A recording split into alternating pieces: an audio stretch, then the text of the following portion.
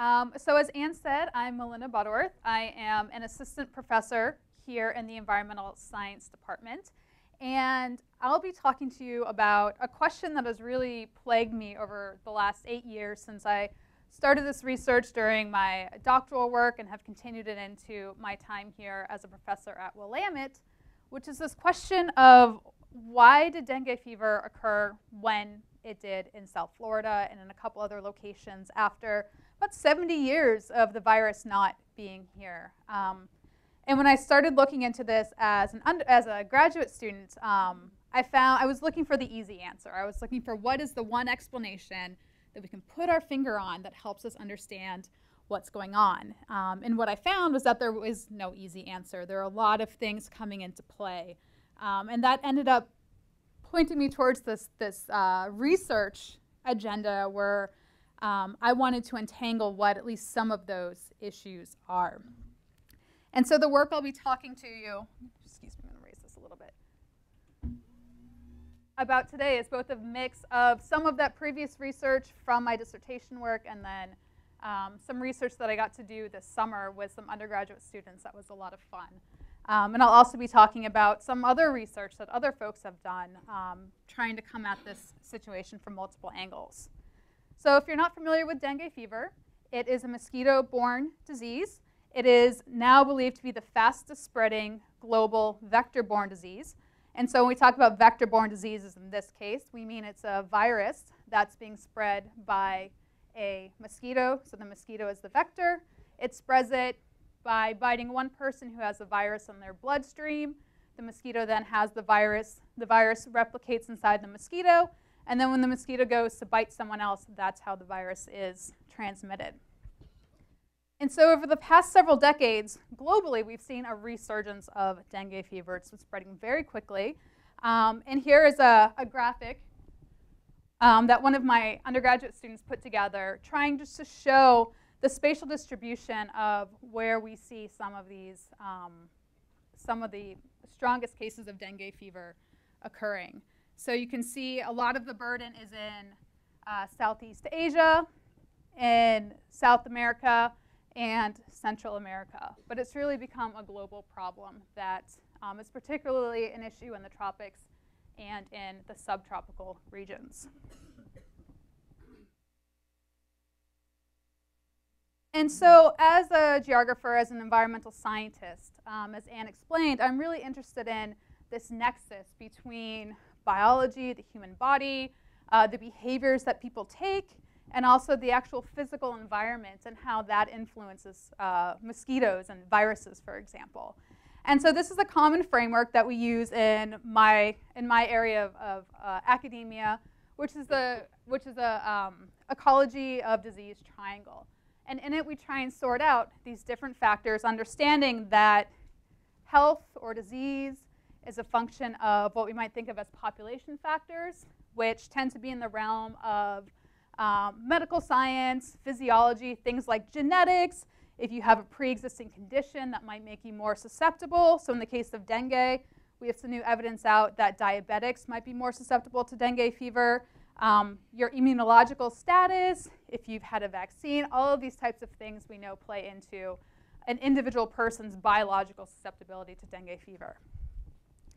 And so while that's really important, my area of research focuses more less on that biomedical side, the medical science of what happens inside the body when you contract the virus.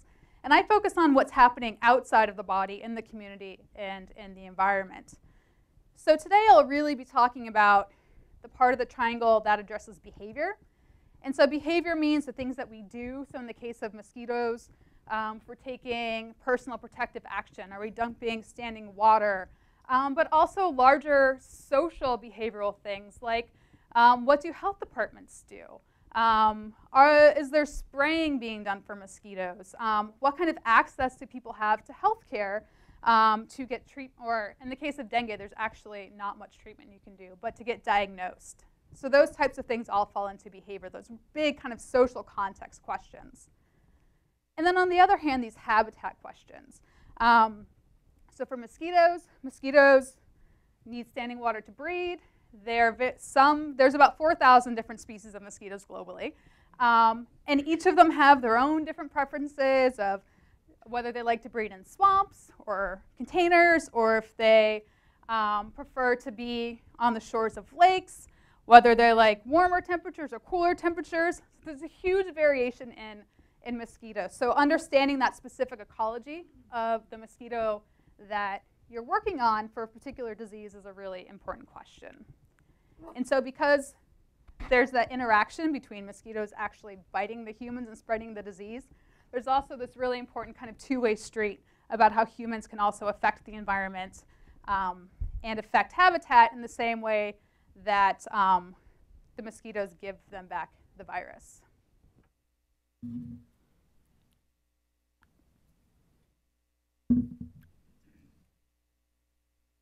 And so this research, um, the reason this fascinated me was because um, in a lot of my undergraduate training, um, I had learned about all of the great advances that we had made in terms of dealing with infectious diseases. We had vaccines, we had um, antibiotics, we had a lot of new biomedical technologies that we really thought were going to be able to pretty much halt the spread of infectious diseases in the United States leaving us just to pretty much have to worry about um, chronic illnesses. And so this quote um, that was said, you'll see this a lot in public health presentations. We like to quote this a lot. Uh, that the Surgeon General in um, 1970 said it's time to close the book on infectious diseases, declare the war against pestilence won, and shift national resources to such chronic problems as cancer and heart disease. And so we know historically a lot of the interventions that we saw up until this time have been really, really important for reducing risk. Um, but at the same time, they have not eliminated issues of infectious disease in the way that we thought they would. Uh, we see new diseases emerging, um, diseases spreading from one continent to another, um, viruses evolving, um, antibiotic resistance occurring. So that's not to say that all of these things weren't important, but actually infectious diseases remain on the landscape as, as um, an important topic of, of concern.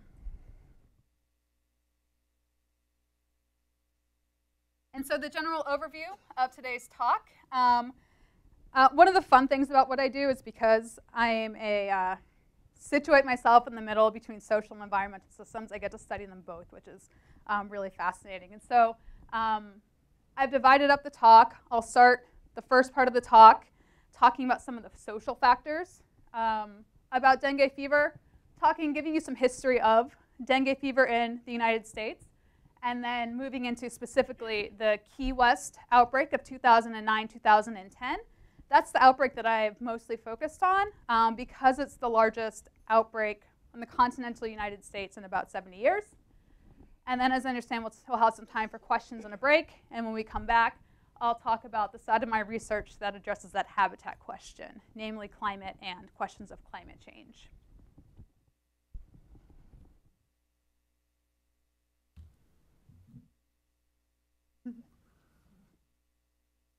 So these are the two mosquitoes that spread dengue fever.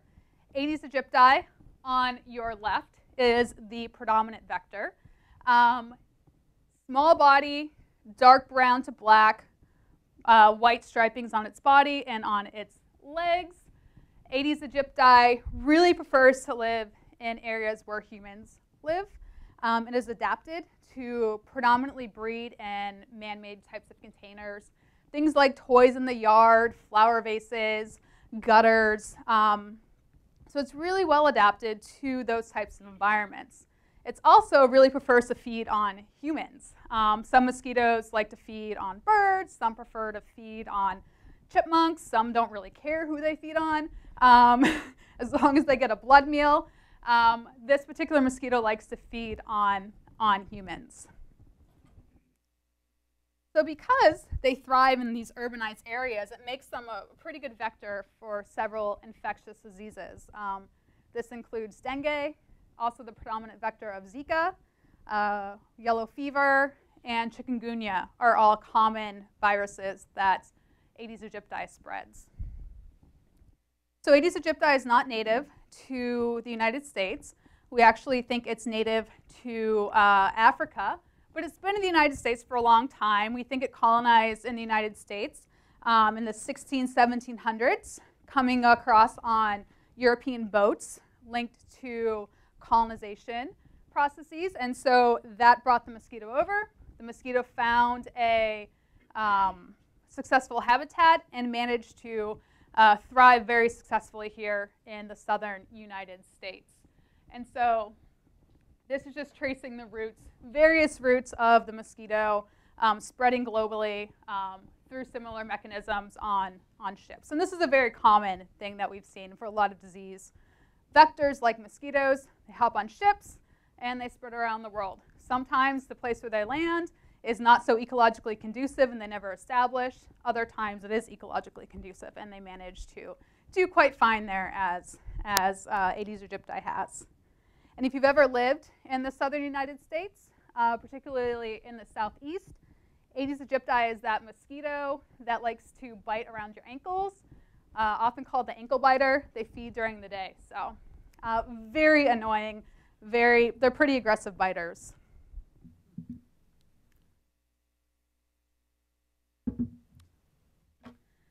Then there's Aedes albopictus, native to Southeast Asia. Um, much more recent introduction to the southern United States. Came over, um, actually I'll show you this over here, came over on, uh, we think, uh, on ships, again, part of the used tire trade that was circulating tires around the world. Tires are fantastic habitat for mosquitoes. If you've ever tried to get water out of a tire, it's very challenging. Um, and so we think that this mosquito arrived in the southern United States in Houston through the tire trade and managed to, again, find itself a nice home here in the southeastern United States. Aedes albopictus, also known as the Asian tiger mosquito, also a particularly aggressive biter. Likes urban areas not quite as much as Aedes aegypti, tends to be more on a periphery. They actually outcompete in deep urban areas. Aedes aegypti is more common there. Albopictus tends to be a little bit further out. Um, albopictus is a little less, likes to feed on humans, but also likes to feed on birds, for example. Um, so it tends to not be, although it's an effective vector of dengue fever transmission, it's Aedes aegypti, at least in the southeastern United States, that we've seen being the predominant vector of dengue fever. And so um, although there's those two vectors, the rest of the talk today, I'll really just be focusing on, on Aedes aegypti, which is that guy over there. Actually, that girl over there. Um, if you're familiar with mosquitoes, it's only the females that, that uh, take blood meals because they need that blood to be able to finish their reproductive processes to be able to lay their eggs. The male mosquitoes, they also have a proboscis, um, but they feed primarily on sugar from plants.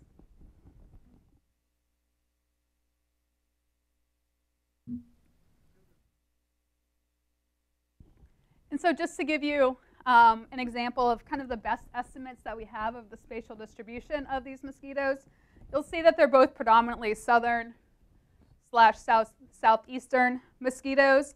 Um, Aedes albopictus does a little bit better um, in some more temperate regions, so it has a little bit more of a northern uh, range, but both are found throughout the south and the southeast. One interesting point on Aedes aegypti, so even though it's been in the southeast for a long time, it actually in the southwest, you'll notice that it's there now too. That's a pretty recent introduction. Um, that area is desert, Sonoran Desert. Historically, there hasn't been a whole lot of water, so it wasn't a great place for the mosquito. Um, now, with the urbanization of Phoenix, of Tucson, there's a lot of backyard habitat. And so since the 90s, we've really seen Aedes aegypti become a problem in, in southern Arizona. Um, having done my PhD at the University of Arizona, I can tell you that Aedes aegypti is a, it's a big concern there. I don't think I've ever gotten as many mosquito bites, and I'm a native to Virginia, as I did living in Tucson, Arizona with Aedes aegypti living around my house.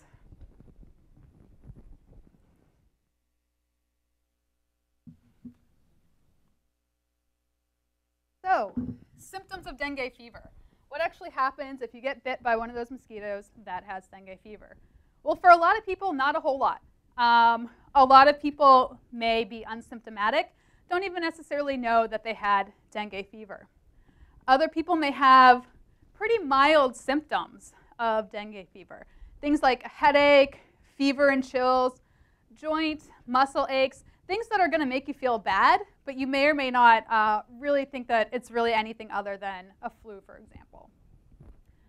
But in more severe cases, um, there's a, a, rash that patients will get. That tends to be something that is more likely if patients develop that, they'll go into their doctor. Um, if they have severe headache or pain behind their eyes, that's a, a more kind of moderate uh, presentation of, of the virus. That tends to be kind of a common, this mild to subclinical uh, presentation of the virus.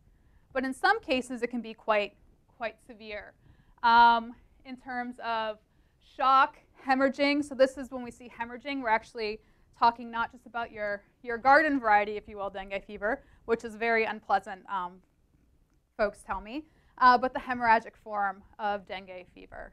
Um, and that's, of course, much more severe, and that's when we start to see the deaths that do occur with dengue fever. Um, and so what happens, we think, with that hemorrhagic form um, is that there are four serotypes, uh, conveniently called dengue 1, 2, 3, and 4. And the first time you get dengue, let's say you get dengue 1, you have lifelong immunity to dengue 1, and that's great. So you can be exposed to it again. We don't think you're going to get dengue 1 again. But if you get dengue 2, 3, or 4 after having dengue 1, you're at a higher risk of developing a severe form of dengue fever. So often, uh, for many people, dengue is not particularly severe. Um, or it may resemble a really kind of intense, miserable flu. Um, but for a subset of cases, it can be quite, quite severe.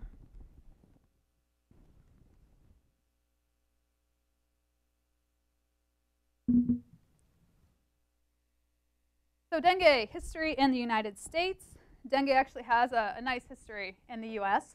Um, we think maybe the first outbreak potentially was in the 1700s in Philadelphia, um, with a number of outbreaks occurring since then, mostly in southeastern port cities. So if you remember, Aedes aegypti has been present in the United States since the 16 or 1700s.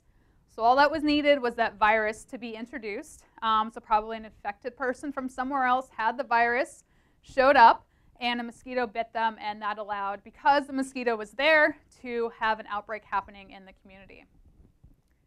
So the places we tended to uh, see these outbreaks um, are southern port cities. Probably not much of a surprise. Cities that are coming into contact with other areas. So Mobile, Alabama, Pensacola, Florida, uh, Louisiana, or I'm sorry, New Orleans, Louisiana. Um, all of these places had dengue outbreaks somewhat regularly through the 18 and 1900s.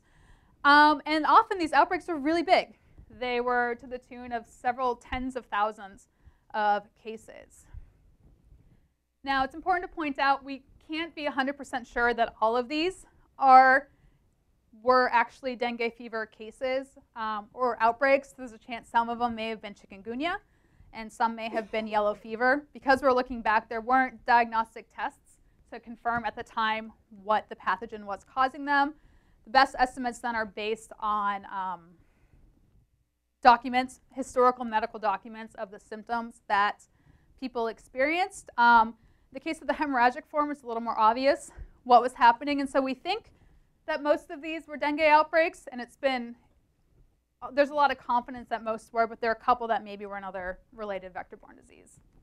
Um, this is, I don't know, if you've been to the Florida Keys, this is one of the early, uh, early attempts at mosquito control in, in Florida. This is Perky Bat Tower, and um, it's on Sugarloaf Key, a little bit north of Key West. And particularly for Florida, Florida really had to deal with their mosquito problem if they wanted to develop a residential, uh, large residential community there. And so there are a lot of early mosquito control efforts in Florida. This is one that went down as history as not being particularly effective.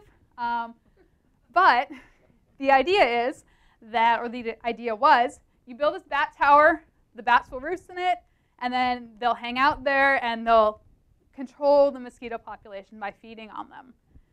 Lore goes that the bats were there, then they left and they never came back. So it wasn't a successful attempt, but it does show that there's a long history of dengue fever um, in this region and a long history of dengue fever um, control. That said, dengue fever was not the only thing that was circulating at that time. Malaria was actually an even bigger problem in the southeastern United States, and there was a lot of effort that got put into combating malaria at the time. And so we actually saw this transition, a fairly successful transition for a while, of a reduction in Aedes aegypti habitat. So you had things, first off in the United States, changing. So um, working on getting screens on houses, draining swamps and wetlands, particularly for malaria, um, getting piped water to houses. And so that was really important, even though it's directed at malaria, for at least reducing some of the dengue fever mosquito breeding site around homes. But at the same time, dengue is also a problem regionally in the Americas, as is yellow fever. And if you remember, yellow fever is also spread by that mosquito. So there are actually these, there was a very large scale campaign um, designed in the mid 1900s to try and reduce uh, Aedes aegypti, predominantly for, for yellow fever, but um, also for dengue fever, um, to, to control those outbreaks. And so you saw um, a lot of top down programming, a lot of money went into trying to eradicate mosquito breeding sites, a lot of spraying. DDT was actually very beneficial for controlling a lot of the mosquito populations at the time. And so we actually saw a decline by the 70s of Aedes aegypti habitat throughout the Americas. Um, several countries actually um, claim that they completely eliminated the mosquito from, um, from their countries. And so it was successful for a while, but then ultimately that one, that level of uh, involvement wasn't sustained. The program ultimately stopped. Two, although DDT was great for controlling the mosquitoes, we learned about the ecological effects of using DDT. And so we ended up seeing, basically, over the next couple of decades, Aedes aegypti pretty much expanded back to its range that it was in before these control measures. And so now Aedes aegypti is present throughout much of, much of the Americas.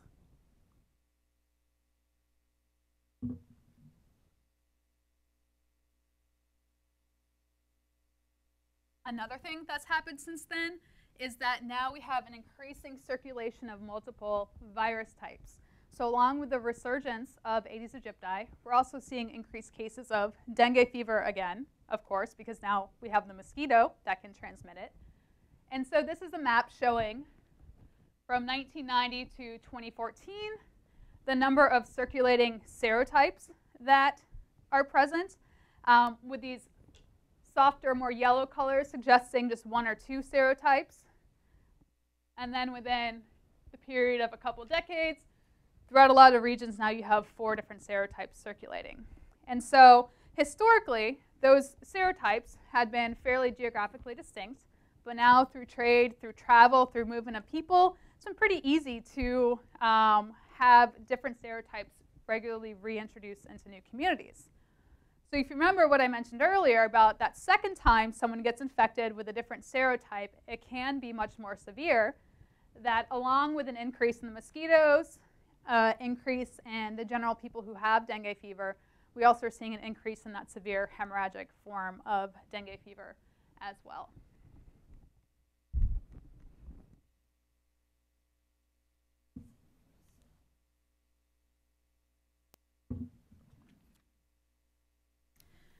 So the United States um, has also recently seen an increase in dengue fever outbreaks, um, certainly not to the extent that we used to see in the 18, 1900s. Um, changes in public health infrastructure, housing structure have gone a long way to reducing a lot of that threat. Um, but we have seen an increase in, in smaller outbreaks in the United States over the past uh, couple of decades. So this is a paper that mapped some of these outbreaks, and so I think it's just instructive of, of where some of these are occurring. Um, South Texas has had a couple of localized outbreaks. Um, of course, Key West, the outbreak I'll be talking about today. Um, Florida has actually had local transmission every year now since uh, 2009. Some years it's been in the form of, of small localized outbreaks. Other years it's just been one or two individual cases that don't actually um, turn into a larger community level outbreak. There's also a new study out, or a recent study out, that suggests there's been some local transmission in Houston, Texas. So if you'll notice, a lot of these are happening right along kind of that southern part of, of the United States. And so as I mentioned, since Key West is the uh, largest local uh, continental U.S. outbreak, Hawaii's had some, slightly bigger outbreaks, but Key West is the largest continental outbreak. I'll be focusing on, on this one, um, also because that's where I did my research. Um, so, the Key West outbreak.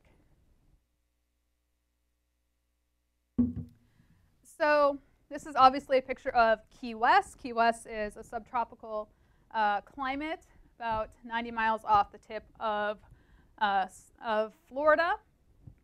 So in 2009, a tourist to Key West traveled back home to New York.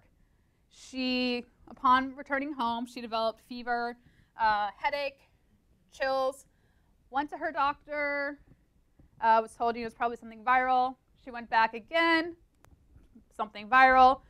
Third time she went back, they had an infectious disease consultant come in, and he said, you know, this kind of looks like dengue. Um, you haven't been anywhere where there's dengue, because remember, up until now, we haven't seen dengue in 70 years in the, in the continental US, but let's test you for it anyway. They, test them, they tested her for it, came back positive. A couple weeks later, a local man in Key West develops uh, fever, headache, joint pains, vomiting. He goes to his doctor.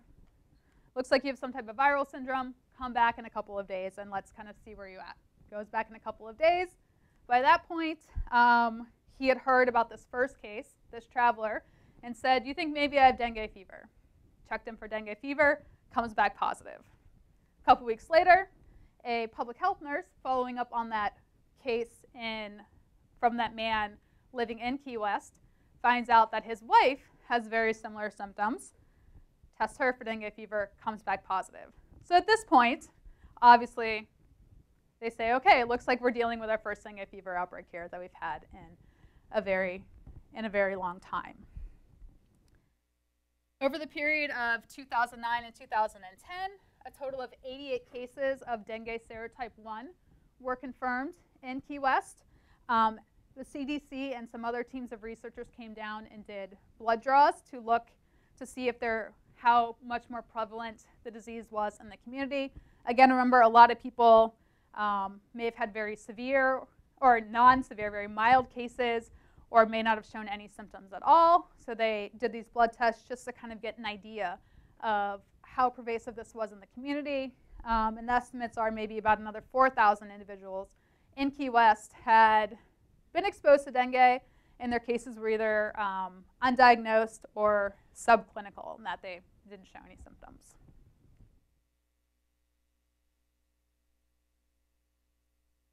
So this is just a map of Key West. Key West is an island, is about two miles wide by about four miles long. A lot of the cases were centered in Old Town, the Old Town region of Key West, although there were certainly some clusters a little bit further up in what we call Midtown. Um, in Old Town in particular, there's a lot of older houses, very old houses. Um, they're densely packed together. Some of them had old cist- have old cisterns, even though um, to hold water, even though they now have piped water. So all of these things, in addition to um, the presence of the Key West Cemetery, which is downtown, which has a lot of water holding bases, are thought to maybe partially contribute to why we saw um, dengue fever appear in Old Town. This is a map um, of the island of Key West um, showing a metric that they use of when they go out and they look for mosquitoes, um, what percentage of containers in urban backyards have Aedes aegypti larvae. They want to see the island at 2%. Um, obviously, nowhere on the island is at 2%. Um, Aedes aegypti is a problem across the island.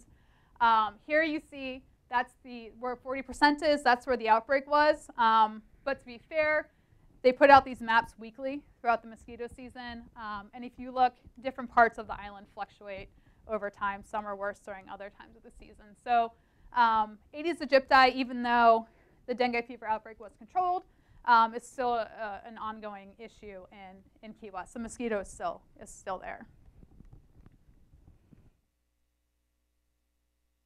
So from my perspective, um, looking at Key West is a useful opportunity to gauge what some of the vulnerabilities are to dengue fever in the southern United States and also some of the response mechanisms that were put in place by local agencies to deal with the dengue fever outbreak. So um, to give you some perspective, um, the next couple of slides, I'll just be pulling from some of my own research that I did. I spent um, summers of 2012 and 2013 in Key West um, doing interviews with about 40 residents and officials. As part of a, I was also part of a team that conducted stakeholder interviews with a lot of the different government officials um, or surveys responsible for managing and responding to that outbreak. And I spent um, a significant amount of time crawling around in people's backyards with them, looking for where the mosquitoes breed. So um, that's Emily Callahan. She is now a doctoral student in epidemiology. At the time, she was just finished up her um, undergraduate degree in public health, and so she came with me. She was my um, one of my research assistants um, and was digging around through backyards with me as well. So some of this is with great thanks to her. Um, and here are just some pictures of various housing types if you haven't been to Key West. Again, a lot of historic architecture, a lot of historic homes um, that um, have a lot of vegetation around them, are very pleasant to live in for humans, but also um, pleasant for mosquitoes as well. Um, and then some newer construction you can see over here a little bit further out from the historic downtown. There's been a lot of new construction going up.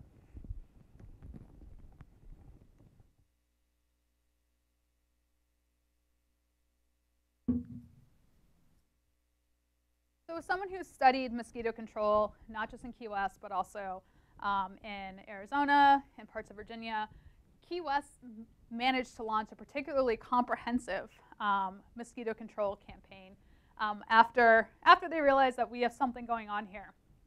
And so this mosquito control campaign um, had a lot of different facets going on. Um, it not only involved the health department and vector control, but they got folks from um, water involved, folks from the tourism agency involved, folks from uh, various city and community services involved, trying to really combat this, this outbreak that they were seeing. And so some of the things they did and that they still continue to do in Key West um, as a result of this outbreak um, really built on pre-existing things. They just intensified them.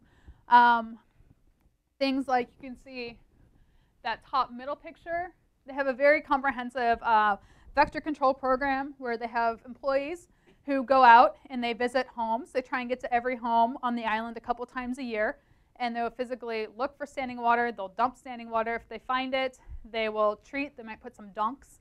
If you have a permanent uh, a pond or something, they might put something in there or give you a, a mosquito fish to eat any larvae to, to uh, take care of that. Um, often after these inspections, they'll leave you a report card. They'll let you know how you're doing, if you're doing a good job at maintaining mosquitoes or if you're not doing a good job at maintaining mosquitoes. They spray larvicides from uh, helicopters about once a week to try and get at the mosquito breeding grounds. Um, there's even a mosquito control uh, control board. It's a publicly elected position, mosquito control council responsible for um, for helping to make decisions about mosquito control um, here. And so when I talked to we talked to the stakeholders, asked you know what you thought worked the most. They thought that their inspections and the communication, the messages to the public were some of their most effective things, really going out and inspecting properties. Um, also, their surveillance and community outreach. Some of the things that they felt like fell flat on the table, and they tried a lot. They had a mosquito control TV show. Um,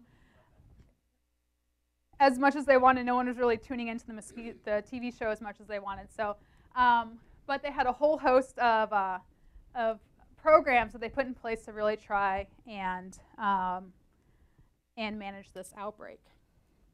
At the same time, we also talked to stakeholders about what, what, what didn't work, right?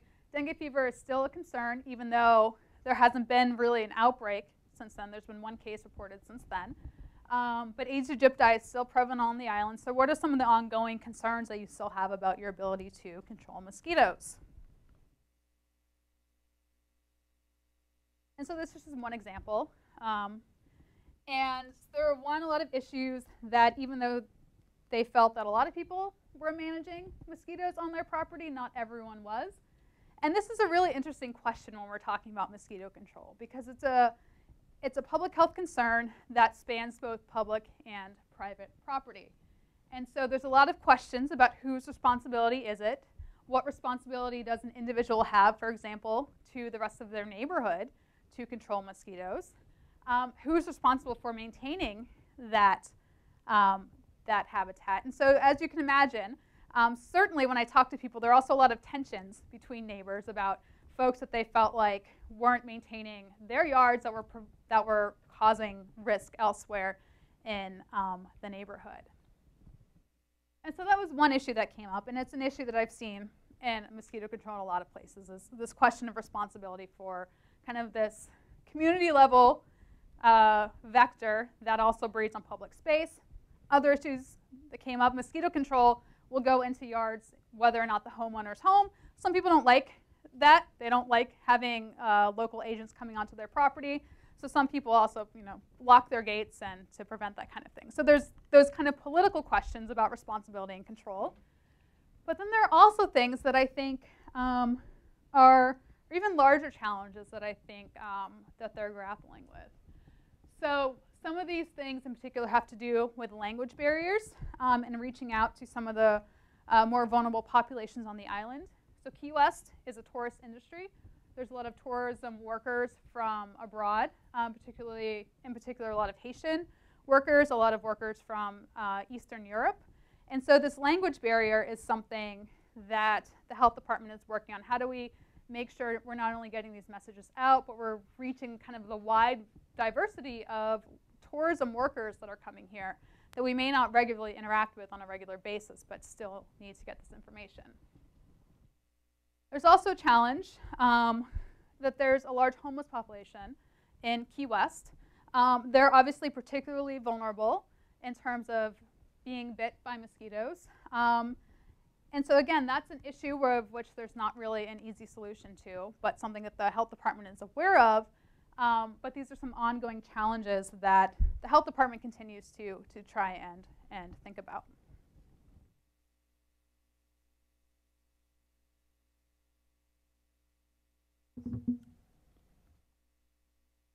Some additional challenges voiced both by um, the health department and vector control folks, but also some of the residents that I talked to um, involved things like, uh, for example, economics. So in some cases, the health department felt frustrated that people are not doing things like fixing screens on your windows. Conversely, when I talk to some folks, Key West is a very expensive place to live. Um, rent in Key West is about twice as high as anywhere else in Florida. Um, to give you an example, um, a studio apartment in Key West starts at about $1,200. Um, about four out of the five tourism workers who work there end up paying more than 30% of their income on rent. A lot of them are working three jobs to be able to afford to live there. And so when I talked to some of them about why aren't you, for example, fixing screens, it was less about not necessarily being aware, but saying, one, I don't really have the time. Two, I don't necessarily have the financial resources to update all of the windows and the screens on my house. Um, for some of them who are living in historic districts, that on top of that, I'm bound by historic regulations that say I need to, if I'm going to replace you know, anything, they need to match certain things, and that adds more expense to it. So there are certainly some economic concerns, constraints that people voice to me um, about uh, their less rooted in their knowledge and their education, but more about some of the barriers that they felt that they were facing. Um, some other challenges that were voiced in Key West. One, Key West is very much um, a tourism-based economy. Um, and so you have lots of cruise ships coming in, a lot of cruise ships that have been traveling throughout the Caribbean where there's a lot of dengue fever. And so there's always the chance that um, just by sheer number of volume of people that are coming in, that someone's picked up dengue fever elsewhere. Um, and that that could potentially, if they're a bit while they're visiting Key West, um, be an issue in terms of triggering um, an outbreak. Um, some other concerns that have that came up as well um, is Key West is also a very seasonal location. So while there is a, a community that lives there year round, there's also folks who um, who only are there in the winter when it's nice and not in the summer. So sometimes their property is maybe left unmaintained. Um, no one's there dumping the standing water. Some people have networks that their neighbors will come over and take care of standing water for mosquitoes, but not everyone does. Um, and so that can be an issue. Also, just having people come in, renting a house for a week. They're there to have fun, have vacation. They're not really thinking about any type of mosquito control management of the rental property that they're staying at. Um, so you kind of have this other layer coming in of, of this kind of transient nature of the folks who are there and who's responsible for um, Key West. And so this is just an example um, of the types of breeding sites. I went out with mosquito control inspectors on some of their routes going through backyards. You can see this is just a trash can. It had rained recently. Trash can got filled. And dumping out into that dipper, there's a good amount of mosquito larvae in there. So just lots of spaces. The natural environment already for Key West is quite conducive. That's a bromeliad. Um, it's a plant that is prevalent throughout Florida, particularly in that region. Um, it's also a great breeding site for mosquitoes because rainwater will fill up that center stalk of the bromeliad um, and create a nice little protected habitat for mosquitoes to lay their eggs. So you can flush bromeliads out um, with a hose. You're supposed to do that to manage your yard, but again, there's a lot of breeding spaces um, in a lot of these yards, and so it's certainly something that not everyone um, does. And then, as I mentioned before, a lot of historic architecture, a lot of historic homes um, that, um, in some ways, based on uh, that they were developed at times when there wasn't originally piped water. People were storing water in cisterns, even if they're not still using them. If they're not covered, that can be a way for water to get in. I mentioned issues with keeping, uh, being able to, you know, maintain windows on some of these older homes. Um, other things came up. But some people, though, were just like, at some point, mosquitoes are not the only thing that I think about. And so I'm living in Key West, and I just kind of want to enjoy living in Key West. And if that means sitting on my porch or having my front door open because I don't have air conditioning and I want to get a nice, you know, breeze coming in through my shotgun cottage, that's just a decision that, that I'm going to make. Um, so, and finally, the last thing, as I mentioned before, another complicating thing is this question of, of blame, um, not just in terms of how you might think about, you know, who's responsible on your block or in your neighborhood, but also um, something that at least I found a bit concerning um, was in some places people were blaming their local neighbors as you were the, the source of the dengue fever outbreak. So, you know, depending on your thoughts about that, whether blame is kind of a, a productive way to get people to manage that or if it's a way of maybe stigmatizing um, certain folks is something that, you know, you can think about, but it's certainly something that I heard voiced um, in terms of blame. And people told me some interesting stories about you know, spying on their neighbors, looking for mosquito breeding sites, and um, mosquito control. You can call them, and they'll come out to to deal with your neighbor. And so, you know, people would say, "No, I kept telling my neighbor that you got this site," and they said, "Oh yeah, we're dumping." And then you you know spy and look over, call mosquito control out. So in some cases, they're like, yeah, that was actually kind of an issue at the end of the day with my neighbors. It's a little bit weird when you call on your neighbors to, to report um, an issue like mosquito um, like mosquito breeding sites, even if it is for public health purposes. So just a lot of different things going on in Key West. Um, so to summarize um, what I've talked about so far. So one, right, I didn't really talk about population, but I think it's worth mentioning that there is this layer now when we think about this ecology, uh, this triangle of disease ecology, that one, there's now an estimated 4,000 people in Key West who have uh, immunity to dengue serotype 1, which is great. If there's another out, it's great for those people. Um, if there's another outbreak of dengue 1, But um, there is certainly the concern now that if another of those four serotypes were to be introduced, that you would have a population that's at more risk for developing a severe form of dengue fever. So even though that's not, as I mentioned, particularly the uh, area of research that I study, it is something that comes out of, you know, some questions of biomedical science that certainly play into this. Um, so some of these behavioral things that I think are going on that kind of layer onto this complexity of why at this particular time Key West was a great place for dengue fever to show up have to do with, you know, some of the economic constraints faced by individuals, but also there are some economic constraints faced by the health department. Um, and they, you know, told me we only had so many resources, and so um, had to be really creative in the types of control programs that that they could do. Um, things like exposure, um, whether people are actively, you know, being exposed to getting um, the virus, tourism, both in terms of making Key West vulnerable potentially to outbreaks, but also because Key West is um, so reliant on tourism, there's also some concerns about the impact of a dengue fever outbreak on the tourist economy.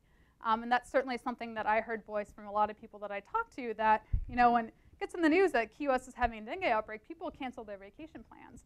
Um, and so th there are also some additional uh, economic concerns that can come out of what happens if you're a tourism-based economy and then suddenly, you know, your tourism industry um, suffers. And so that's kind of the summary for this first part of the talk of some of these behavioral social questions. As you see over here, of course, when we're talking about habitat, the way people manage their yards, um, the way that the state responds to yards is really important for creating or reducing habitat, whether you're dumping standing water or whether you're planting a bunch of bromeliads in your backyard that can hold more water, um, is one part of this habitat question. Um, when we come back, I'll talk a little bit more about the larger habitat question as related to climate, about some of the uh, precipitation and temperature things that um, are going on that increase or decrease dengue fever risk. So I think now we have some time for questions. Or, okay.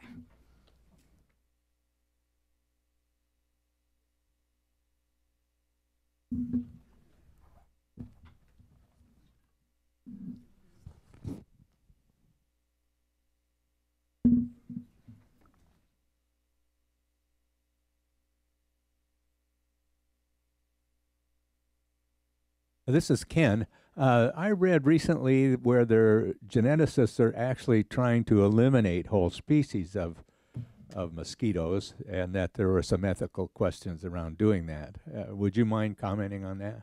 Sure. So um, there has been a proposal for the release of genetically modified mosquitoes into Key West in particular to deal with this. And the way that it works is in the lab, um, males and female mosquitoes are sorted. And the male mosquitoes get a gene inserted that makes it so when they're released into the wild, they can mate, but the offspring die. Um, and so that's a way that's being potentially uh, proposed in Florida, uh, particularly in Key West, to uh, control the mosquito population. As you might expect, there um, has been a lot of controversy around the release of those mosquitoes in Key West. Some people are very much for it, some people are very much opposed to it.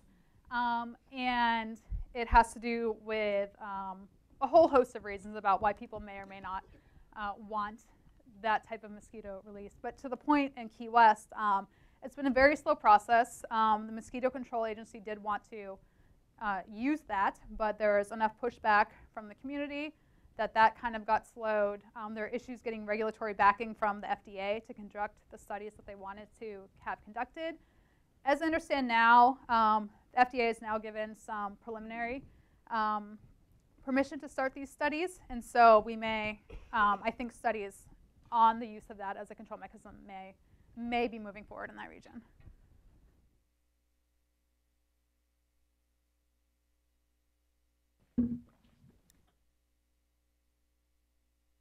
Hi, this is Cassia. Is there actually any beneficial use to mosquitoes? Well, they serve as food for a lot of a lot of um, of organisms. So plant, or I'm sorry, not plants, bats, fish feed on the larva. Um, but also, if we think about it from the virus's perspective, um, they're certainly useful for a virus of, um, you know, surviving and being able to maintain that. But yeah, so the bottom of a food chain, they, they certainly provide um, some, some food sources for various organisms. Some plants do feed on mosquitoes. Oh, sorry? Some plants do feed on mosquitoes. Like the bromeliads. The bromeliads do feed on mosquitoes, yep.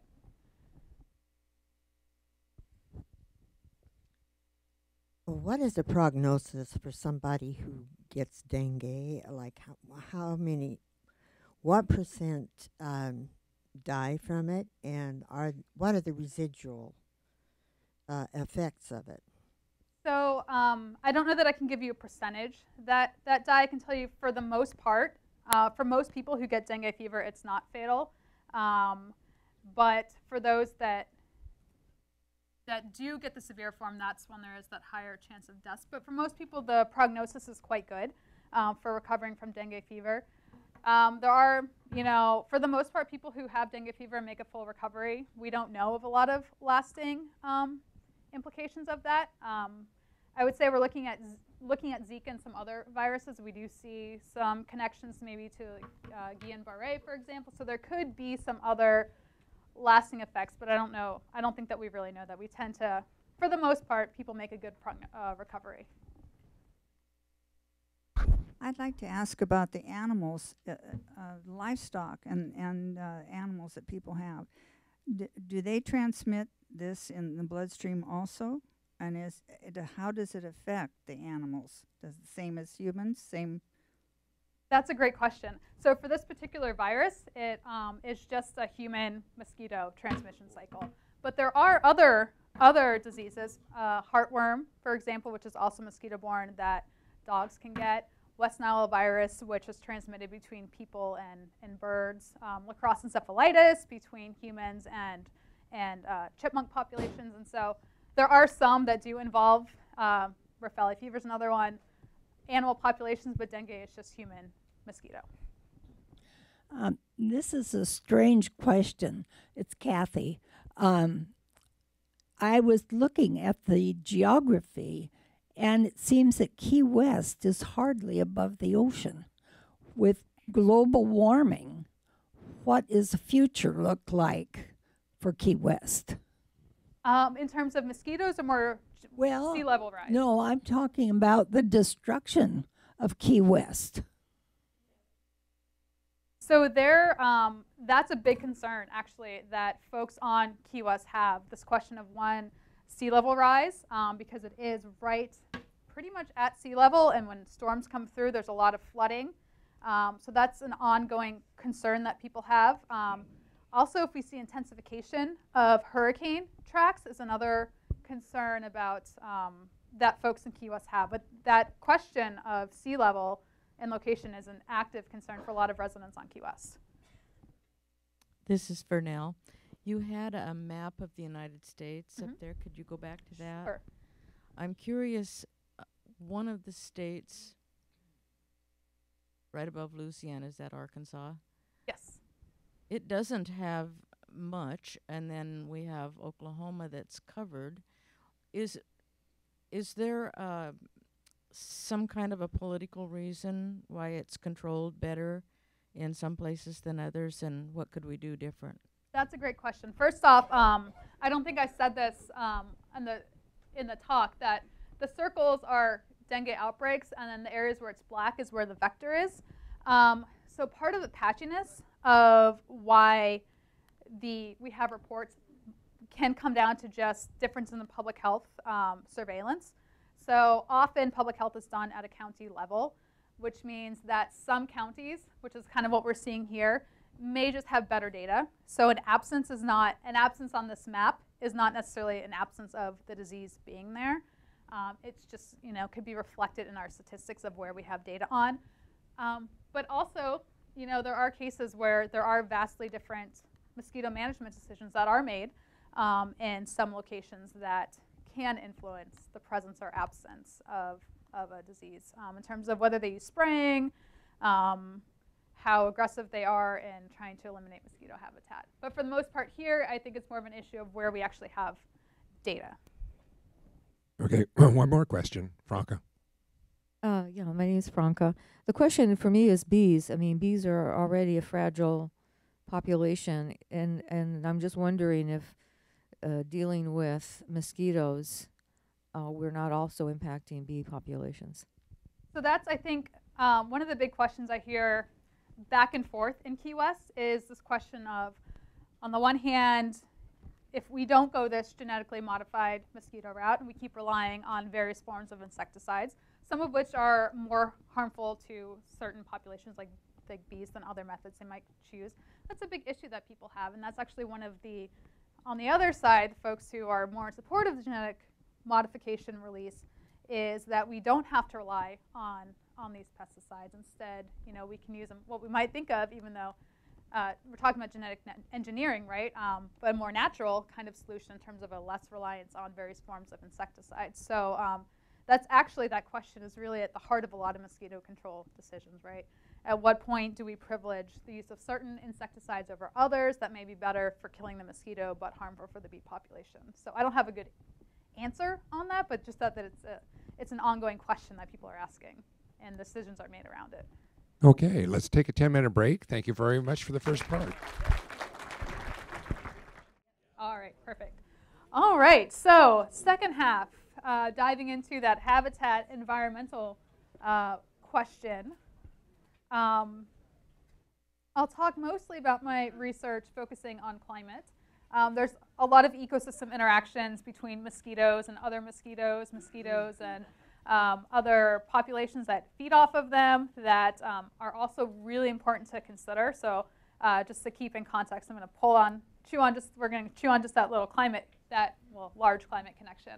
Um, within this larger question of habitat, um, and I'll talk a little bit about some links between climate and dengue fever um, because the mosquito and the virus are both sensitive to varying climate conditions.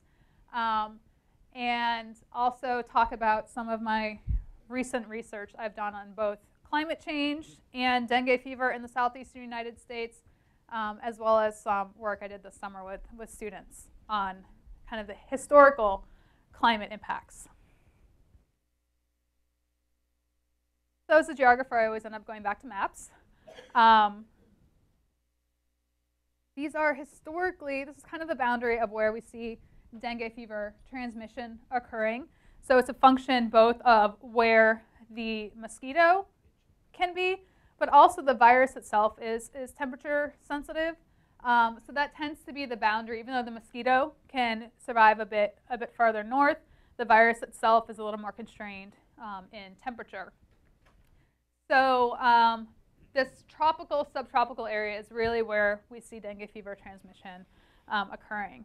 If you look on this map, the area that I've been talking about, the southeastern United States, is pretty close, right kind of on, on that boundary. Um, and so for me, boundaries are really fascinating areas to study because it's right at the place where we're seeing some changing ecological conditions with a lot of questions about what happens in small perturbations um, at a boundary? Do we, can we put, does that end up pushing um, transmission into new areas or, or not? So that southeastern United States is what we'll be focusing um, on here.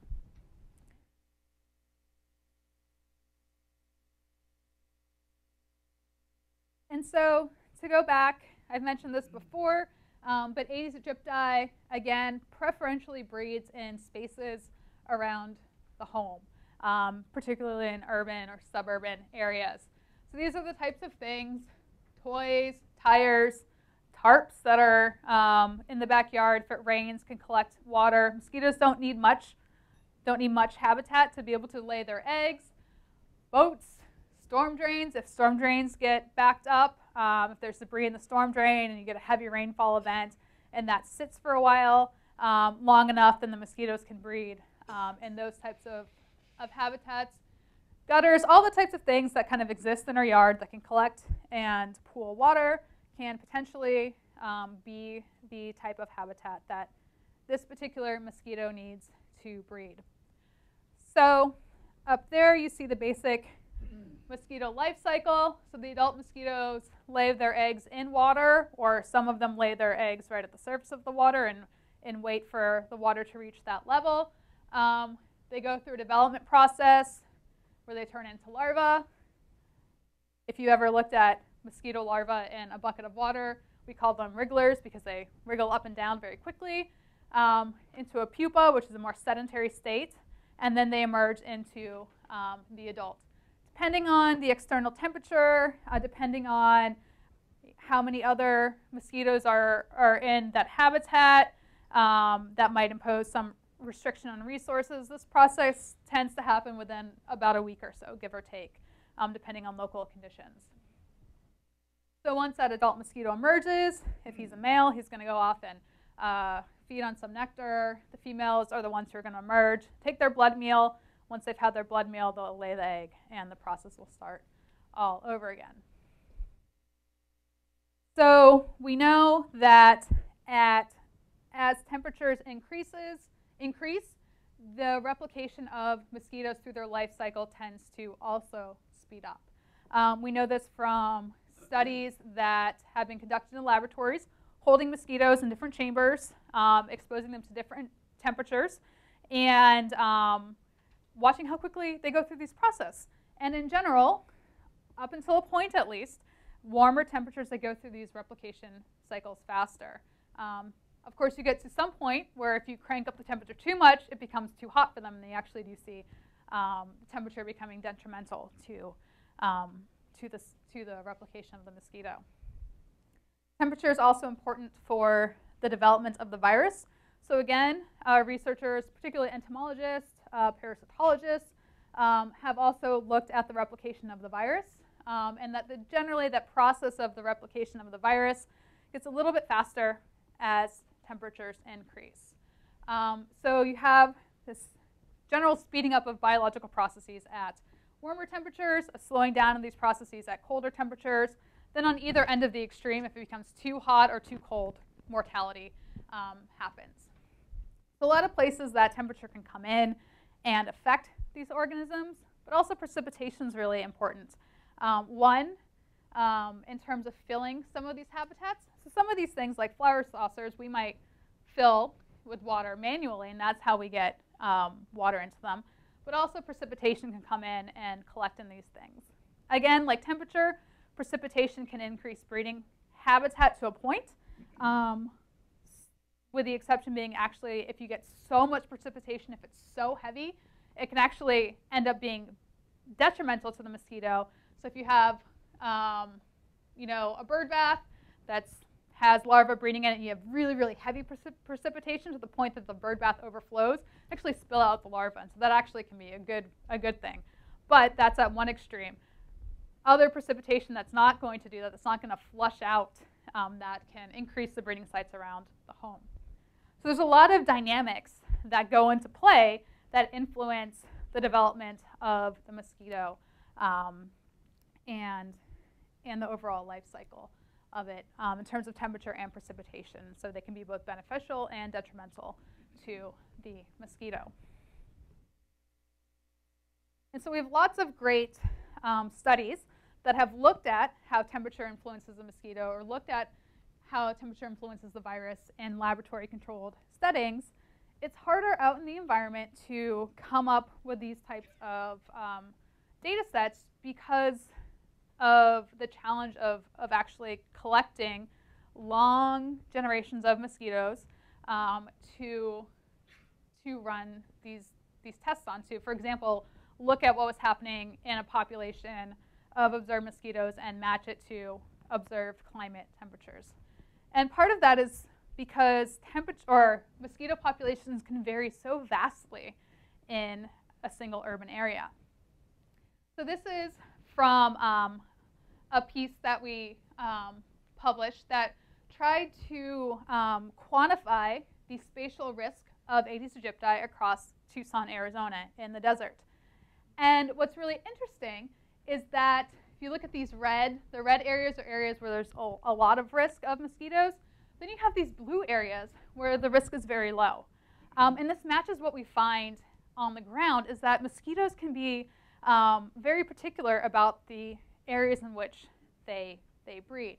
And part of that has to do with their, if you think about how small a mosquito is, um, their world is not particularly large. So you can have, for example, um, I had a trap, two traps set up on my house, one on one side and one on the other side of my house. The side of my house that um, was heavily vegetated, uh, often shady, nice and cool, right? We're in Tucson, Arizona, so it's, it's, it's hot. The mosquitoes often like to seek shelter during, during the day and, and cooler areas and rest. That would have a lot of mosquitoes. On the other side of my house in a trap that you know, was sitting directly on dirt, um, direct sunlight coming in, had much fewer mosquitoes. And so even the place where we set traps um, can vary, can get very different types of mosquitoes in it. So if you scale that up to the urban landscape um, and think about how different one yard is for another, the different types of habitats that you might have in one area versus another, it's really hard to capture that complexity um, in terms of long-term traps, just because trapping is so labor-intensive. Um, this is a mosquito trap, um, and what we do for Aedes aegypti is we hang uh, these traps in a tree or somewhere near where we're looking to catch adult mosquitoes. And in the cooler, we put dry ice, which puts off CO2. And so that CO2 is going to mimic the same way that when we breathe out and exhale CO2, one of the initial attractants of mosquitoes towards us. And so we mimic that. And then as the mosquito flies in closer to the trap, thinking it's coming in on, on a nice tasty blood meal, there's actually a fan below right there. Once they get close, they're going to get sucked in by the fan and they get captured and they're stuck in the net. So we put those out, you put them out for a night, and you collect them. As you can imagine, trying to do this over long periods of time and over long, large spatial areas is really resource and labor intensive. So often we have public health departments use these uh, for monitoring purposes, and they're really useful just to get a sense of um, what the mosquito populations are doing uh, locally. But in terms of generating these really kind of long-term data sets that we might want to have for climate and uh, environment connections, we actually don't have a lot of data sets because they're so they're really intensive to create if we want to have, you know, think about the lifespan of a mosquito, a couple of weeks. If we want to have this over decades of the same location, also reflecting of the spatial um, heterogeneity, it's it's actually quite challenging. Another issue that you can have sometimes, just for a fun story, sometimes um, well-intentioned community members think that they see the CO2 coming out, they see the battery, they think that maybe it's a bomb, and the SWAT team is called in, and your trap is dismantled, and you've shut down a neighborhood in central Tucson. Um, so just another fun story, but a challenge that, that comes along with, with this type of research. So to be able to deal with that, because it's you know, an ongoing problem, those of us in climate and health research know that this is a problem, this lack of long-term data sets.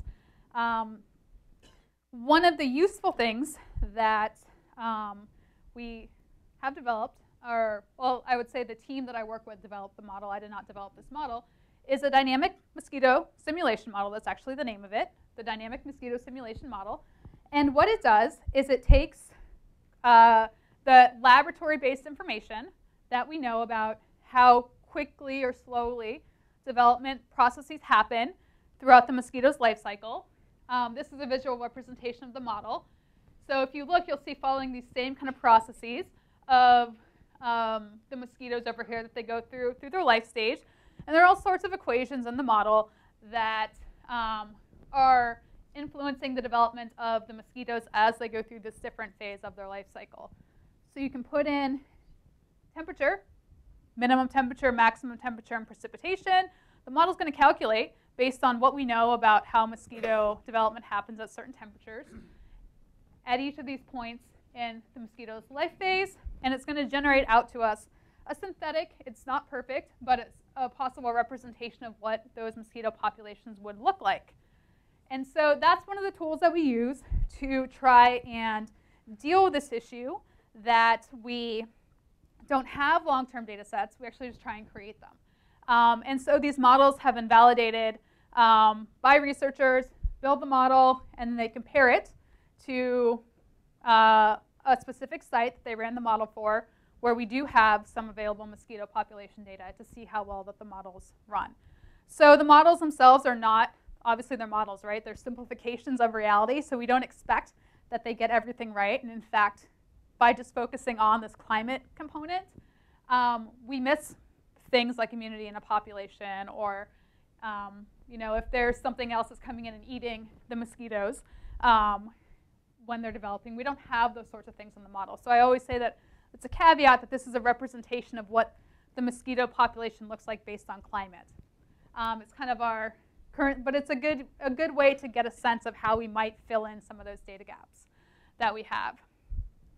So this model was developed by my colleagues, validated by colleagues. They also added in a temperature component for the virus to also think about how the temperature, external temperature is influencing the virus inside the mosquito. And so what we get is, like I said, that possible representation of what mosquito and virus looks like in a um, location.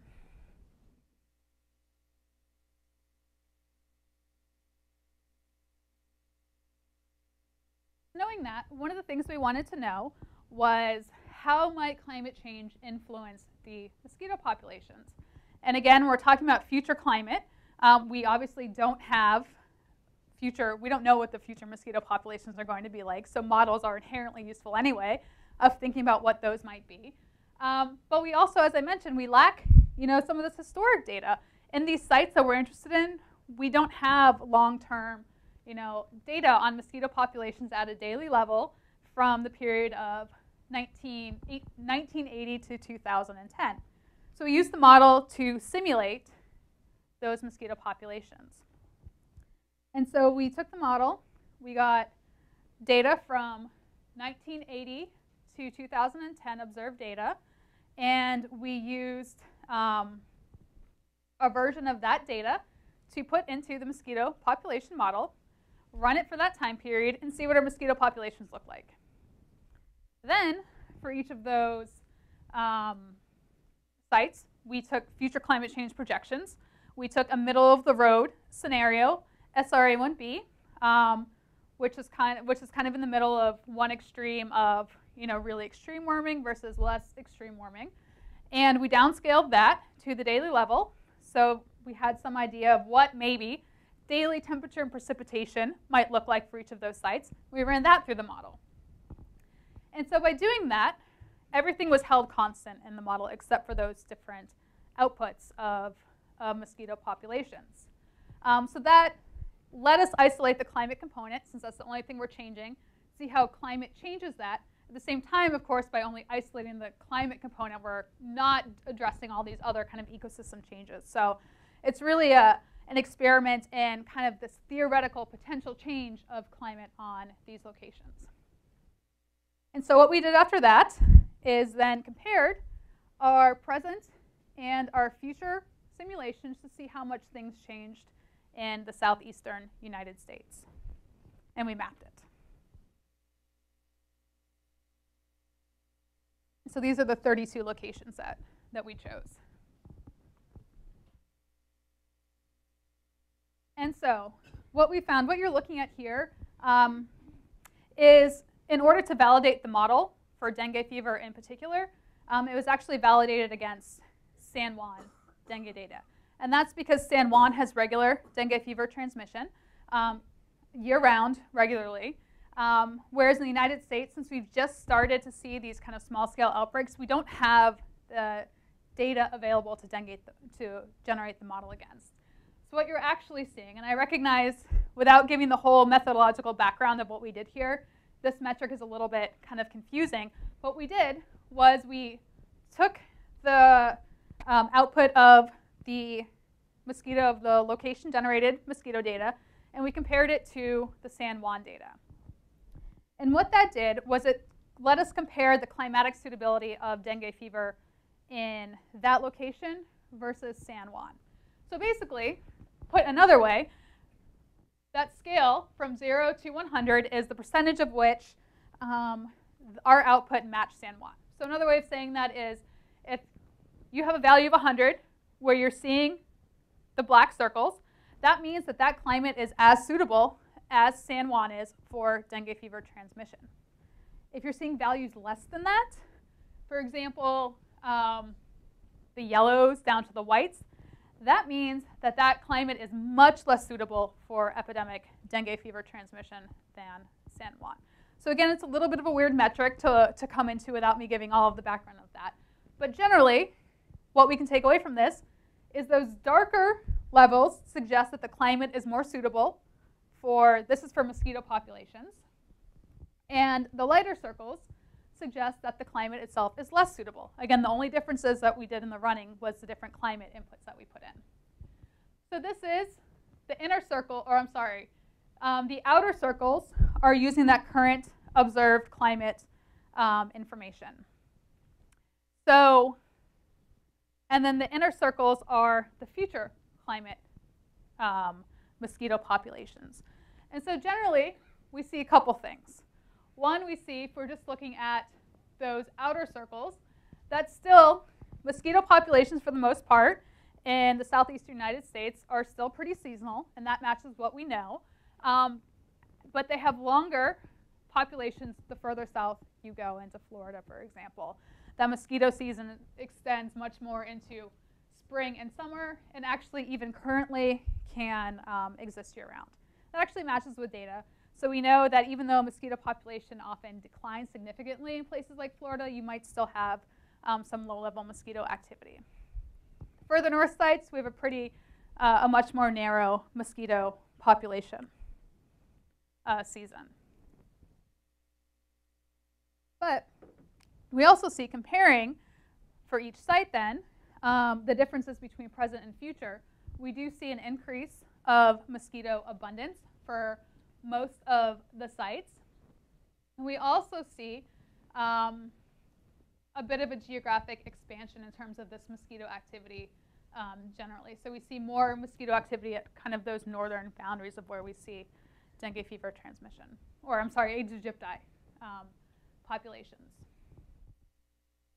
So this is really useful from a, for understanding what mosquitoes are doing, but at the same time, the presence of the mosquito in and of itself doesn't mean there will be dengue fever transmission. And we know that now because Aedes aegypti is found throughout much of Southeast or Southeast United States, and we only have these local, um, these local transmissions. So this is now looking at dengue fever potential. Um, and so this is based off of the actual cases that we see. So again, we have these outer circles, which is current, and the inner circles are future. And so currently, we see, again, the largest chance of the largest cases of dengue fever pretty much limited to the southern part of the United States where we see this kind of those big, um, that big potential. We see that change a little bit in the future throughout a lot of the United States. We see some increased risk. Um, but at the same time, we still, I think this is a really important finding from this work, we still don't see a lot of winter transmission in Florida. Um, we don't see it now, which I think is really important. We do see maybe a little bit, maybe minimal transmission. Um, but this is in, this is converse to San Juan, where we actually do see year-round dengue fever transmission. It drops off in the winter, but the virus is still able to be circulated. Um, so this is really important for us because it suggests to us that even though the climate in Florida is suitable for dengue fever, um, and even though that season um, is potentially expanding, which is really important knowledge for having these outbreaks, it also suggests that there's still not a great chance for that virus to be transmitted in the winter. And so that's huge because if the virus can be transmitted in the winter, you can have it keep circulating within the population. If it's becoming too cold, and again, this is all climate driven, if it's becoming too cold in the winter, um, then that could effectively end the outbreak. And so now you're back to the point again of needing that dengue virus importation. So I think Florida is a really interesting case because we, we kind of see it emerging right on, on that threshold between, between the two. We look at further north, um, in in the United States, we see maybe some very, very small windows of transmission um, for a potentially local outbreak, but really we're talking about the deep southeast um, United States and particularly Florida.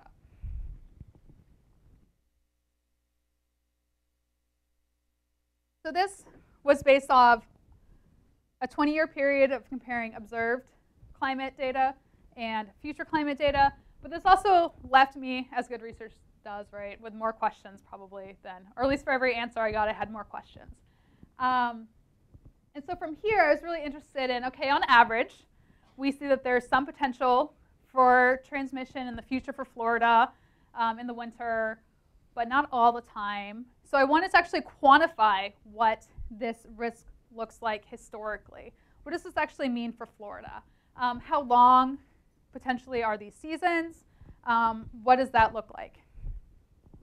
And so this summer, I had the great opportunity to have these two Willamette students, Alia Razid and Paige Yakel, help me answer some questions that um, arose. And so we used a little bit different methodology, and instead, we actually, for six sites in the southern United States, we went back and got as much daily historical climate data that we could find. For that, for the most place, meant we got back to the 1890s. Um, and this is at daily level temperature and precipitation data. So Paige and Alia were great champs as we tried to compile um, over a century's worth of daily data into usable data sets. And then we ran the model again for each of these sites using this history of mosquito, of, of climate data to see how these mosquito fluctuations changed in time. And what we're really interested in, in Florida, for example, is how often can you have a large outbreak? What is the kind of variance that you have? Are some years more suitable for dengue fever transmission than others? This question of variance was really important to us. And so I actually don't have a ton of information on this to share because my students are still cranking through their data trying to, to answer this question for me, but I do have a couple preliminary results that I can share with you. So we saw that in Florida. Um, this is showing what those mosquito um, populations, one metric of them looked over time, from 1892 all the way to 2015 using the model. And what we found was pretty much every year, 124 winters. Um, out of 124 winters, the mosquitoes survived in southern Florida during the winter. It's not that surprising. We know that um, that's possibility based on empirical, empirical data. When we looked at continuous infection, which we defined as mosquitoes that actually had some virus in them in the winter, we saw that about 60 out of 124 of those winters actually had the potential of an infectious mosquito surviving that winter. So that's a big difference between pretty much every winter being good for the mosquito versus about 50% of the uh, winter being good for the virus. So that's really important. Then when we took it a step further to look at human cases, still we didn't find any evidence of um, winter transmission to humans. So you had a little bit so these winters that we had virus transmission in mosquitoes, these were really, really low. It's like one or two kind of infectious mosquitoes kind of floating around the population. That ended up not transmitting into human cases. So we still kind of see um, that in Florida, still this winter, the winter temperatures are still really important for kind of min minimizing the um, potential for the virus to be spread. Even though the summers can support it, can support outbreaks. The winter temperatures are really important for kind of minimizing, hopefully, and knocking off some of those uh, cases when they start. This is a little bit more of the data that we had. So again, um, this was us quantifying the average weeks that each of our sites see mosquito populations, Aedes aegypti potential, the number of weeks that you have infectious mosquitoes, and then the number of weeks that we saw cases theoretically able to be transmitted. So what you see still, well, one, you see a pretty clear geographical gradient where up into Philadelphia, you have not much time where dengue, even if it could theoretically a week or so be transmitted, probably not really going to happen. Down into Florida, where you actually have about 50 weeks of the year on average that um, the mosquitoes can, can transmit um, the virus. um, infectious mosquitoes for about 34 weeks of the year, and about 31 weeks where dengue fever can be um, transmitted. So now that we're looking into the, vari- the variance in this, students are piling through the data set and trying to get a sense of how much do these numbers vary. Is it pretty much on average that you do have, you know, South Florida with 31 weeks of the year, or are there some years where it's, you know, we don't see much at all, and are there some years where we see a, a potential for a lot? Um, with the idea being that hopefully this is of some value to public health departments in terms of how uh, we might think about quantifying what does actual seasonal risk in these locations for dengue fever um, look like. So to summarize from that section, some of the things we found is one, like I mentioned, uh, those cooler winter temperatures in the southern U.S. are really important for limiting dengue fever transmission. And that's really right on that boundary because, again, not much further south in the Caribbean, that's not the case. So we're really kind of right at this threshold. Um, when we look at vulnerability, we think about climate change in particular. The Gulf Coast stands out as being more climatically suitable. Um, there's also been some research coming in arguing that from a social perspective, parts of the Gulf Coast are also socially uh, more vulnerable to dengue fever due to poverty, um, risk of hurricanes, these types of things, um, and the devastation on infrastructure. So potentially that area stands out as being at higher risk. Um, and we still note, though, that there's still these sub-regional differences within the southeastern United States and that Norfolk, Virginia's risk does not look like Miami's risk, for example.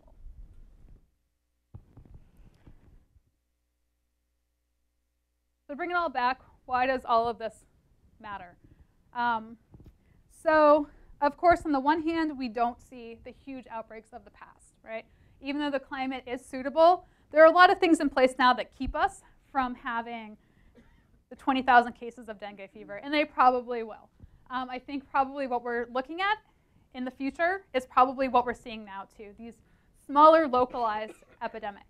And so in June 1st, dengue, a locally acquired case of dengue fever was reported in Key West.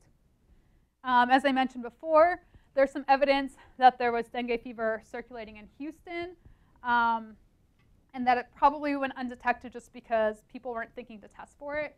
As I mentioned before with Key West, sometimes that's not what you're looking for. That might not be, the testing might not happen initially. Um, and then as we're seeing in Miami now. As of September 6th, um, they found seven new non-travel um, related cases of Zika virus being transmitted. So again, the mosquito that spreads Zika, that spreads chikungunya, both viruses that have made an appearance in South Florida recently are spread by Aedes aegypti. Um, so there's still a lot of questions about, you know, how we respond to this. Um, recognizing that some locations are probably going to be more vulnerable than others. That's in some years, public health departments probably have better funding capabilities to deal with the disease than in other years. And so hopefully, by the time we finish this project with our undergraduates, we'll also be able to add some quantitative assessment on what that risk looks like from a climatic perspective.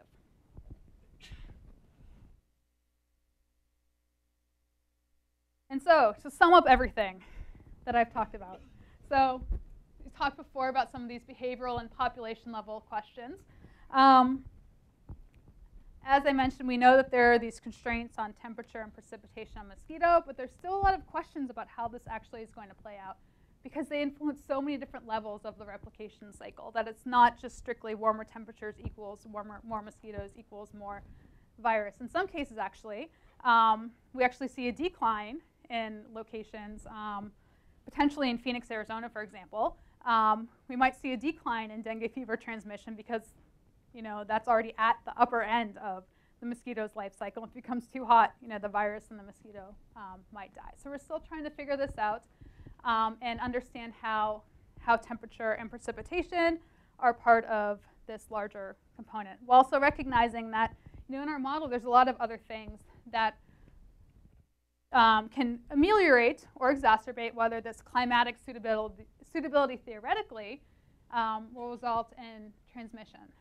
Things like social infrastructure, things like immunity within the population, things like political decisions to use or not use certain types of mosquito control um, factors, things like competition within species. So there's still a lot that's not included in this, so just that little climatic component. Um, but I hope we'll have some new kind of interesting results from what my students find that tell us a little bit more about that spatial quantification of temperature. So I hope that this gave you kind of a, a sense of the complicating factors um, that are both social and ecological that help us understand why dengue has emerged um, in the southeastern United States, um, at least as related to habitat and behavior.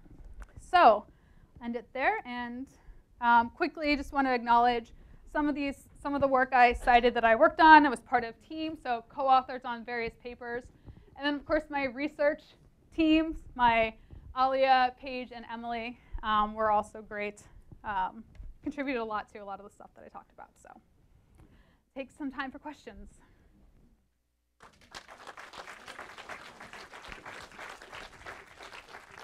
All right, right here. This is Irene.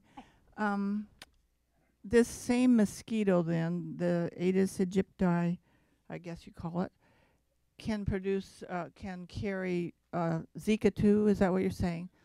And we must have a lot of native mosquitoes all over before these came, but they're not able to. And why do some carry it and some don't? And what is going on? Uh, with that. I know we have some mosquitoes up here, but they always seem a little bit weak and sort of not too energetic. so um, the short answer is a lot of viruses and mosquitoes have co-evolved that have, you know, formed this mutual dependence between the two of them. So um, up here, the mosquitoes can't carry Zika or Aedes aegypti. They can carry West Nile virus. So um, it's just a question of, you know, that co-evolution of, of they do carry West Nile virus. They can carry West Nile virus up here. So that would be an example of a local virus that can be transmitted, transmitted by these mosquitoes. But as far as we know, they can't transmit Zika. Yeah, there's a long history of coevolution between um, kind of this mutual dependence between the two of them that the virus is able to replicate inside that mosquito. Mm-hmm. Uh, Joel here. Um, several of us, some of us are to the age where you know we have, or because of medications, we we have a compromised immune system, and could be traveling to some of the areas that are most vulnerable. Any suggestions as to how to avoid uh, being exposed to these little varmints? So, I mean, the the most common response is make sure you're wearing sleeves. Use of insect repellent. Some people also use who don't like insect repellent use Avon. Um, Skin So Soft, I don't know the verification on that, but a lot of folks say that it works. Um, but it's mostly, you know, the best way you can protect yourself is to try and keep mosquitoes from biting you, whether it's sleeping under a net or, you know, sleeves. Um, try not to be out when they're active. But yeah. Um, maybe it may be on the same theme of immunity. I, I was curious about the people who have had an infection with dengue and then uh, acquire another strain of dengue and have a even worse infection, and I wondered if their previous immunity had something to do with that, some overreaction of the immune system. Do you know anything about that part? You know, it starts to get out of my wheelhouse in terms of how that works, but yes, it's something to do with how the the immune the immune response to starting to recognize that first um, infection, but then not having full protection against it results in some type of immunological cascade that makes it worse. And so I can't properly physiologically explain what that mechanism is, but it is in response to that first immunity that that happens.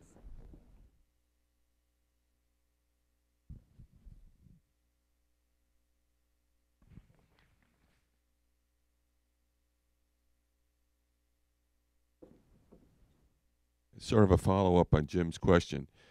Uh, where is the state of immunization now against this virus? And is that, it, suppose we did it, would that be a good thing or a bad thing? And I, I think it really is important for Africa and countries like that. So they're working on a vaccine. We don't have a vaccine um, yet. Um, one of my students was really interested in this question. She didn't do research on it, but spent a lot of time looking into the state of vaccine development for dengue fever. Um, and so we're getting close to potentially some clinical trials, but part of the challenge, I think, with dengue fever is you have to have a vaccine that would be cross protective against the different strains. So that's a big question. There are certainly people who are looking into trying to develop a vaccine, but at this point, we don't have a vaccine for dengue fever. Oh, my name is uh, David. I'm interested in the life cycle of the mosquito. Uh, you you put some of it up there, but I'm interested in the timeline: hours, days, so on. So on average, the average mosquito life uh, span is about a couple of weeks to a month. Um, and so that development cycle from when the eggs are laid into when it emerges as an adult is plus or minus a week on average, and then the rest of its short lifespan is spent as an adult um, for females questing for that blood to lay eggs and reproducing with the males to, um, to lay more eggs. Now that can expand into a couple of months, but on average it's, you know, on the order of weeks to months is the lifespan of an average mosquito.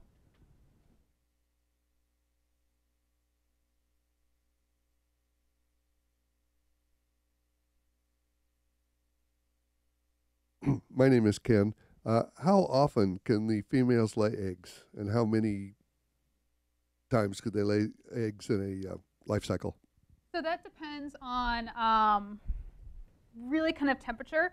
So the temperature influences the life cycle of how long that they're able to live for, um, and also the frequency with which they bite. But you're looking at not that many generations of egg laying for a single female.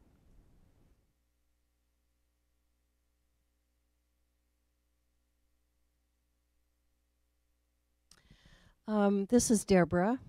I'm a mosquito magnet. My husband is not. Now, that would be probably Oregon mosquitoes.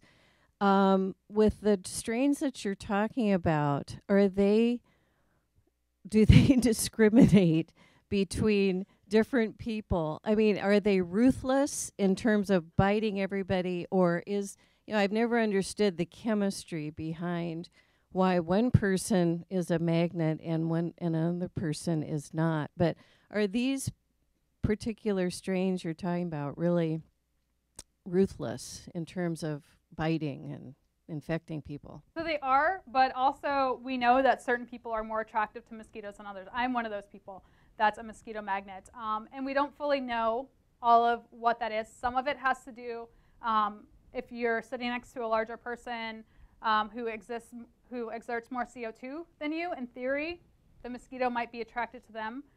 Um, in practice, um, I know I still get bit a lot more than most of the people that I'm sitting next to. Um, and so it also has to do with a whole bunch of, you know, pheromones and chemical makeup of individual people, um, scents you're wearing. I think in the lab, we have some idea about what some of these things are in practice how that particular combination results in mosquitoes choosing one person or another um, is, I think, a bit more of a question. But there are certainly people who are more attractive to mosquitoes than other people are, including me. My name is Steve. My question is uh, about eradication of malaria in Africa. I understand that malaria is largely have has been eradicated, and I'm wondering about eradication of these mosquitoes. Is that uh, an option? Um, so um, as far as eradication of malaria goes, um, there are certainly some areas in Africa where they've made progress, but as a whole, malaria is still kind of an ongoing problem um, throughout large parts of Africa, uh, partly due to um, some insect resistance, some of it due to the continual transmission of, of the virus. So I think we've had some success in eradicating malaria in Africa, but um, as far as if we wanted to eradicate these viruses, we'd have to find a way to eradicate the um, entire uh, population of mosquitoes here, which um, would certainly be quite the undertaking to try and uh, reduce that species, particularly because we could always get the reintroduction of the species from, from elsewhere. So it's something people are working towards, but I think it's probably going to take some time. Yes, this is Kathy.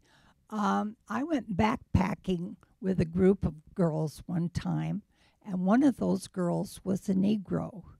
The mosquitoes just just ate her up, uh, much much more than any of the rest of us.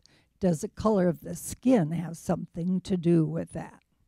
You know, I think it probably just comes down to some various chemical differences that make some people more susceptible to mosquitoes than another. I don't know a whole lot on the specific differences that draw mosquitoes to one person versus another. But Hi, I'm Gretchen, and the question I have is about the contraption you have for your research in collecting the mosquitoes. And you said there were there were other agencies that use that. Mhm. It looked um, kind of primitive, um, basic research type of thing. Um, have you? I mean, is that the best that you can get, or? I, I don't I don't mean to be insulting, uh, but it, it just looked really like maybe this was a science fair project or something. But dry ice, wouldn't that be cold and would that attract well Well, it's the CO2. Um, and so part of the question about why it's not particularly fancy is partly we don't want it to be. Um, we have a lot of issues with vandalism of our traps, people wanting to steal traps. Um, even that kind of device costs $100, $200 to put together. Um, so over the course of, it gets expensive when, you know, traps break, people steal the dry, steal the cooler, steal the batteries. So that's part of it. Um, there are commercial ones out there that um, you know people can use around their homes that look a lot fancier and are designed to control mosquitoes. But for our purposes, we kind of want them to be rugged, um, to be able to withstand weather conditions, and um, if they break or they disappear, that we're not we're not out too much money in our field supplies. hmm One very quick comment here. Uh, I lived on some property here in Oregon that had a pond, stream, lots of vegetation. Uh, I, I sprayed for nothing, you know, no chemicals or anything. Across the street lived Chemical Fritz, and Fritz had no water on his property, and he reported being plagued by mosquitoes, and I had none. And I said, well, I wondered why, but then I had lots of spiders, newts, dragonflies, and that kind of thing. So if you keep your yard healthy, probably mosquitoes will be less. And thank you very much. Thank you.